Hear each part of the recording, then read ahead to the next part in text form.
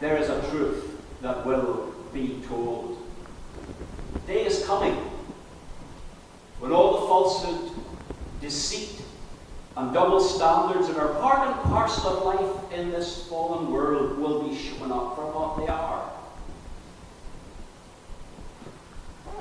Especially when Jesus spoke these words about hidden things being made known. What he had in mind in particular was this group of people he mentions in, in verse 1 of Luke 12. The Pharisees says, Jesus, be on your guard against the yeast of the Pharisees, which is hypocrisy. Now, the charge of hypocrisy is a serious one to make against anyone, and it's not a, a charge that anybody would like made in their direction. So why did Jesus speak of the hypocrisy of the Pharisees? Because the minds of many people in Israel at that time, the Pharisees were men held in the greatest respect. They were not terrorists, they were not uh, crooks, they were not uh, people whose uh, lives were full of scandal that you could read about any day of the week in the newspaper. The Pharisees were men who took their Jewish religion very, very seriously. They were meticulous, it seemed, in their keeping of the law. Not just the law that God had given in the Old Testament, but lots of other little laws besides that they had designed to make them appear godly men. It. But the interesting thing is that Jesus saw beyond what was on the surface. Jesus saw into their hearts. He saw them quite differently. Indeed, his main objection to the Pharisees' religion was that its whole emphasis was on outward show and performance, and not about what was in a man's heart.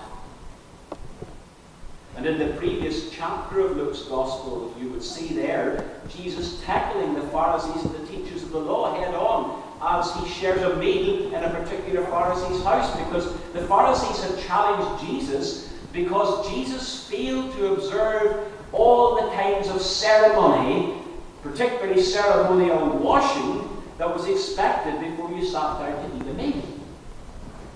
And when they tackled Jesus and said, Jesus, you know, you're the disciple, you're not, you're not the, laws, Jesus replied in these words Now then, you Pharisees, you clean the outside of the cup and the dish, but inside you are full of And he went on to say, Woe to you, Pharisees, you give God a tenth of your mint and rue and other kinds of herbs, but you neglect justice and you neglect the love of God. You see, when religion could be boiled down into a little set of religious rules and observances, the Pharisees were hard to beat for their earnestness, their attention to detail. But when you probed into the big issues of loving God, practicing justice, living with total integrity in your life, there was this big gap. Something was radically missing. Now, behind the Greek New Testament word hypokrisis, from which we get our English word hypocrisy, there lies the imagery of the theatre times. You may have heard this before, of course.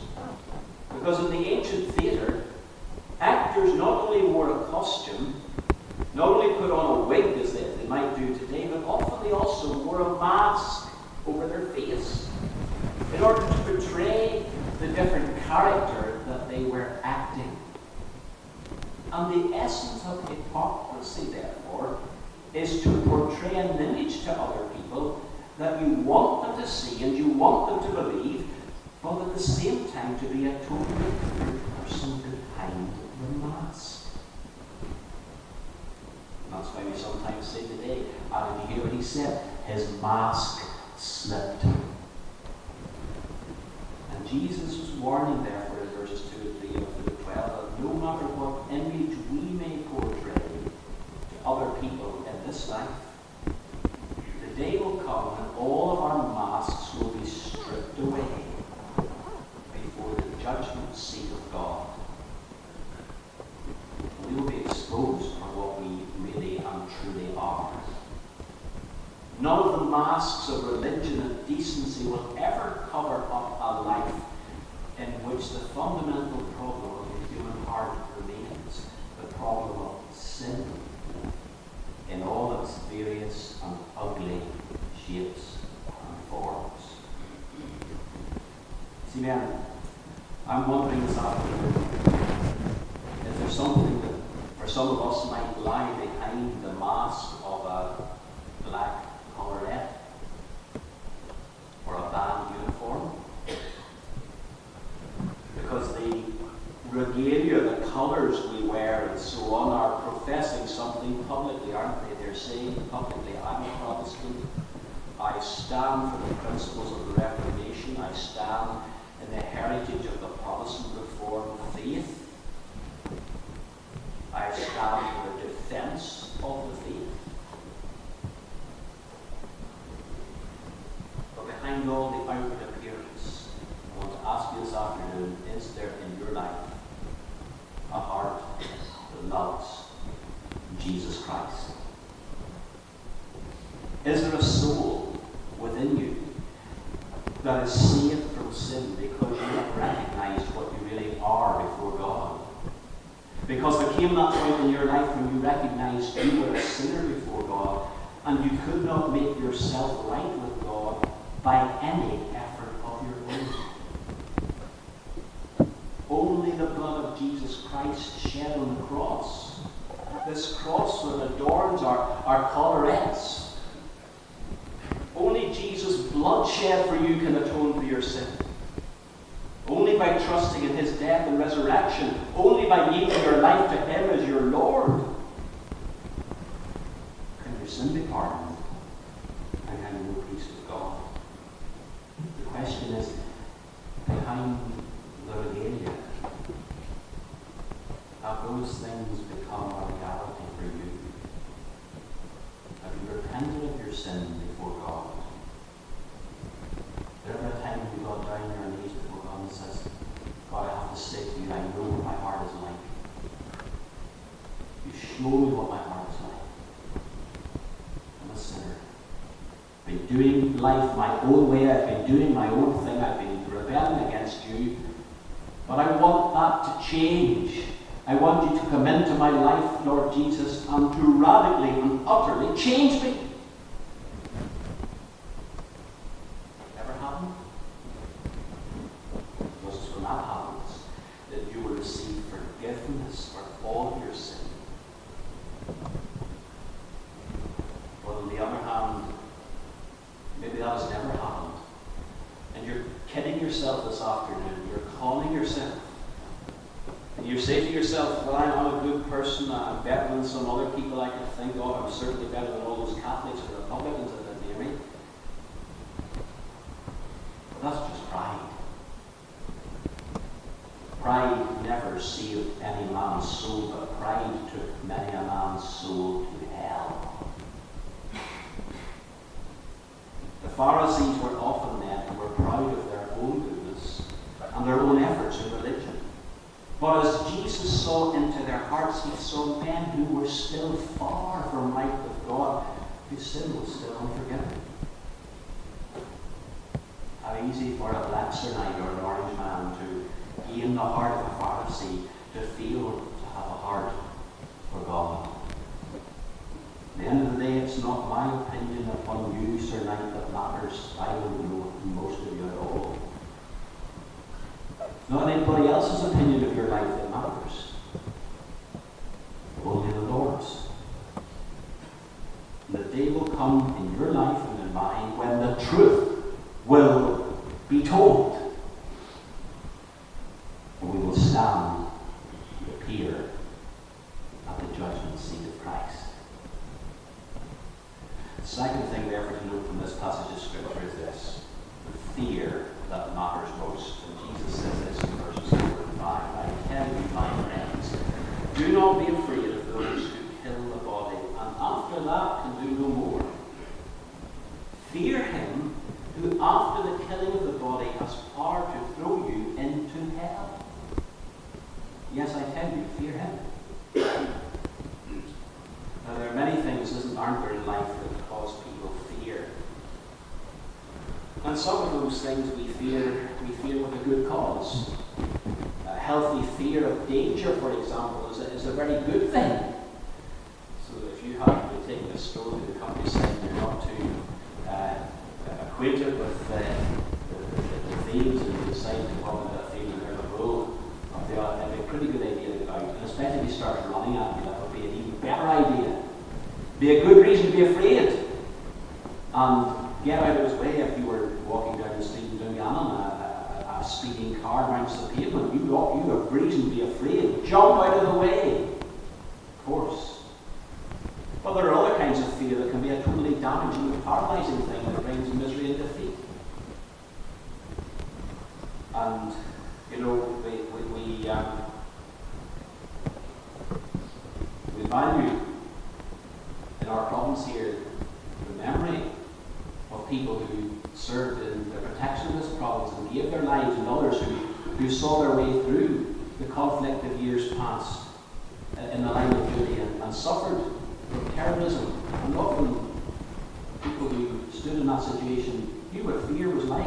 But if all they'd had was fear, they would be paralyzed and they would have been overwhelmed by the enemy.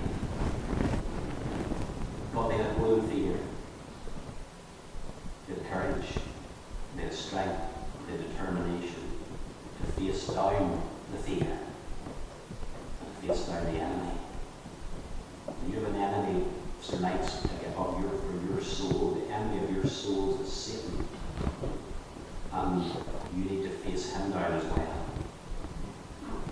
But many people today, though they've heard the gospel a hundred times, and though they know it's true, and though they believe that it's a very good thing, and they know that maybe one day they need to come to Jesus Christ and be saved. What's keeping them back is this, is the fear of other people and how other people will react and what other people will think of them. And that could be your issue this afternoon. You've sat in enough orange and black services and enough services in your own church to know that you need to be born again, to know that, that, that, that Jesus Christ is came upon your heart. Fear's keeping you back. You're saying, what will be said if I, if I tell my wife, if I tell my children, I become a Christian woman, what on earth will he say in work tomorrow morning if I find out I'm saved? Loves that kind of fear. Because that's the fear that takes people to hell. Because they're afraid of what somebody else will say. Sometimes you know, we, we, we, we get afraid of the wrong things. We get afraid. That's not an unhealthy fear of Catholicism. Catholicism uh, lacks the truth. The Reformed faith has the truth. I was thinking of this when driving down the car. I was thinking, imagine, imagine if there was an announcement next uh, week that the Pope, the Pope was coming on another visit to Ireland. And then it was announced two days later he was going to celebrate Mass in Dungannon Park. Wouldn't that be great? You imagine all people running around the my gosh to shake his hand and, uh, and welcome him? I don't think so. But you know, if something crazy like that happened, and the Pope, the Pope walked through Dungannon next week, people would be to be up in arms about it. But it wouldn't make one bit of difference to where you are going to spend eternity, would it? We could all work up about it. We were feared as the end of Protestantism in Ulster. I don't want the Pope of Gallen or Cookstown or anything else to stay in Rome, as far as I'm concerned. But you know, we would, we would fear, we would get worked up, we would get troubled about something like that. And yet, what's Jesus saying here? The big thing, if you need to fear anything, fear God. Not in the sense that you, uh, you were just terrified of God and want to run away from Him, but in the sense that you recognize when you're dealing with God who created you, you're dealing with God who will also be your ultimate judge. You're dealing with someone who, when you die, has the power to take your body, take your soul, has the power to throw you into hell. And therefore, we need a right relationship with God. Not to be living your life thumbing your nose at God. Not to be living your life uh, casting Jesus Christ aside every time you hear the, the gospel message. You could be man today and still not fear God. The Apostle Paul was a very religious man before he was saved. When he was known as Saul of Tarsus, he was a very zealous Jew. He was chasing after Christians. He was having Christians put in prison. He was standing by. We are told about Stephen, the first Christian martyr, was, was, was, when people were stoning and Paul was standing there watching it, approving of it. The Apostle Paul was on his way to arrest more Christians and persecute them when God spoke into his life. Spoke into the life of Saul of Tarsus on the road to Damascus, and he was gloriously and utterly converted that day. And later it is, well, the story is so well known because so much of the rest of the New Testament, the book of Acts, tell of the missionary journeys of Paul, and many of the letters of the New Testament are Paul writing to the churches he founded as a Christian missionary. How did Paul, Saul of Tarsus, as he was then, how did that man who was religious and zealous against the gospel, how did he change? He had an encounter with God that struck the fear of God into his heart. Because when he encountered that blazing light on the road to Damascus, he knew he was dealing with Jesus Christ. And he was kicking against Jesus Christ. And he was persecuting the people that Jesus Christ loved. You or I may not have a conversion experience like the Apostle Paul had. But my, we need to realize that one day we are going to do business with Jesus Christ. We have a need to fear the awesome holiness of God and the ugliness of our sin. Fear the judgment of God and realize therefore that we need God's Savior, the Lord Jesus Christ, more than anything else in all the world. And therefore this final thing. Fear that matters most. But against that also see here the forgiveness not to be these last couple of verses I share with you this afternoon. Jesus says this, I tell you, whoever acknowledges me before men, the Son of Man will also acknowledge him before the angels of God. But he who disowns me before men will be disowned before the angels of God. And everyone who speaks a word against the Son of Man will be forgiven. But the one who blasphemes against the Holy Spirit will not be forgiven. Tell me this. To stand publicly today, tomorrow, in your workplace, down the street, someone talks to you, and would you own up to the fact that you are a follower of Jesus Christ, if that's what you are? Or when that awkward subject of Christianity and religion comes around and work, is it something you kind of want to keep out and you kind of want to push it aside? It's all very well being a, saying I'm a Christian certain life and I wear my and Castlecaulfield Presbyterian Church on a Sunday afternoon, but it's a totally different matter when it's Monday, Tuesday, Wednesday, Thursday, Friday, or Saturday. Now, Jesus is saying here, if you're not willing to take a stand and own me and acknowledge me before other men, believe me, when you stand on the day of judgment, you will find that you are disowned before the angels of God. And if you are disowned before the angels of God, you're going to spend eternity from God's presence in glory. You're going to spend eternity as a lost soul. So I want to ask you, how far does your profession of Protestant faith, Reformed faith, Christian faith, how far does it really go? Does it get beyond this procession to church this afternoon? Does it get beyond the procession to in Knockball next Saturday? Is it something that any day of the week you can stand up and say, I am unashamed of Jesus Christ. He is my Lord, my Saviour, my King. I follow him. I love him. I want you to know about him. Let me tell you about him. Do that. Or would you ashamed? That will determine ultimately how you spend eternity. Because if you disown the Saviour, then before the throne of God, you too will be disowned. Look at those that very last verse. Everyone who speaks a word against the Son of Man will be forgiven, but the one who blasphemes against the Holy Spirit will not be forgiven. What on earth does that mean? I know of that means, Sir Knights, this afternoon.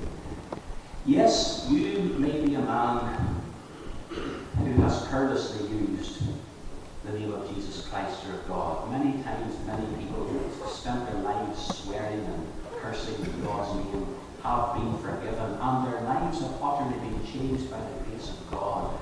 And they are new people, and the dirty, square, swearing, blaspheming tongue has been taken from them. And what it's saying to us here is no matter how deep or dark your sin is, no matter how many times you have spurned God or cursed God with your lips, your heart, your mind, your behavior, today as a sinner, you can come to Jesus and by the power of his blood shed on the cross you can be forgiven. But who's not going to be forgiven? It says the person who cannot sin against the Holy Spirit.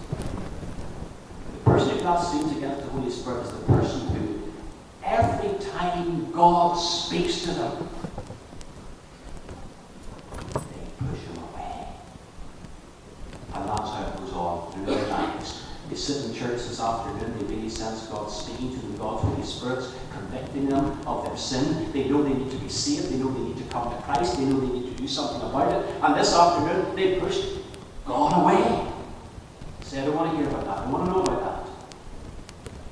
And every time the Holy Spirit convicts them, they say, No, no, no, no, no, no. Until the day comes when He convicts them no more. But the day comes when they pass away from this life and every opportunity they ever have to be right with God is gone. And they will not be forgiven. They will be lost. They will face God's eternal judgment. So today, you see, for the worst of sinners, there is forgiveness. It's available because Christ died on the cross and shed his blood for your sin. It's today, you might never have the opportunity to receive it again. So every time you sit in a gospel service, it's a kind of opportunity to get your heart right with God. It's a time for repentance, it's a time for faith in Christ, it's a time when sin may be forgiven. But you keep pushing God away, the day will come when the opportunity will be gone forever. May God speak to our hearts we do not pass the opportunity by. Grasp it today and give our lives to Jesus. Let's pray. Father in heaven, now you know what every man's heart is like here today and every woman's heart also. I haven't a clue what anybody's heart is like except my own. And even then, I realize that sometimes I would sin would sell me a delusion. But Lord, when your word speaks, it shatters our delusions. When your word speaks, it tears down the lies of the devil. May you do that today in the hearts and minds of men and women here afternoon. So that no one is sitting here